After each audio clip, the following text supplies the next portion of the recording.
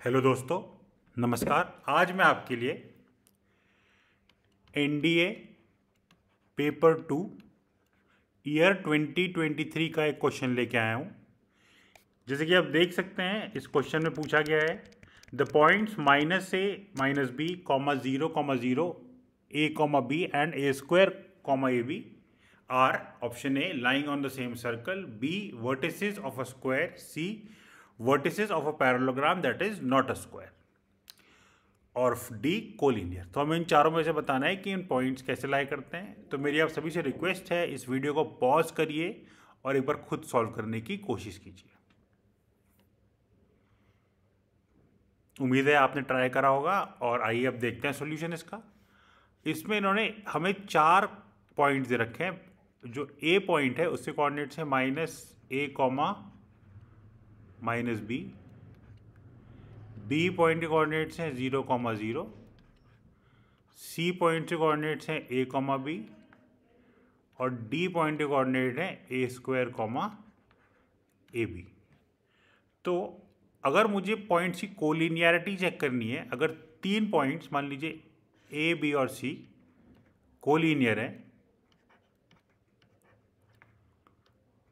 तो इनमें एक पॉइंट कॉमन होगा और ए बी का स्लोप बी सी के स्लोप के बराबर होगा। तो देखते हैं, और स्लोप का क्या फॉर्मूला होता है? M is equal to Y two minus Y one upon X two minus X one अब हम लोग क्या करेंगे? एम ए बी निकालते हैं। एम ए बी के लिए इन दोनों कोऑर्डिनेट्स को मैं यूज़ करूँगा। ठीक है? तो वाई टू कितना है मेरा? Zero minus minus B upon zero minus minus A. तो ये कितना जाएगा? B upon A. और फिर M B C, M B C के लिए मैं किनको यूज़ करूँगा? एम बी सी के लिए मैं इनको यूज़ करूँगा। उसमें ही करूँगा B minus zero upon A minus zero is equal to B upon A. तो मुझे इससे क्या पता चला कि मेरे, इन दोनों की स्लोप बराबर है?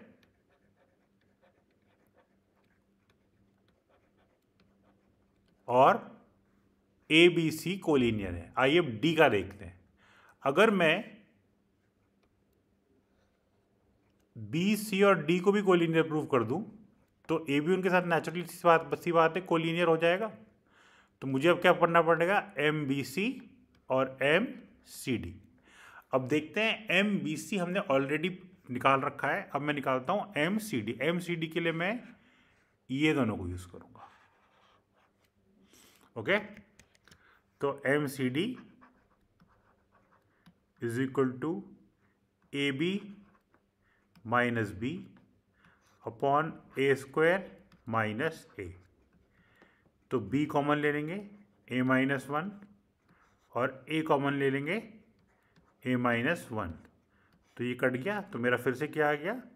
बी और ए। तो देखिए, मेरा फिर से ए भी आ गया, यानी कि M, B C is equal to M, C D.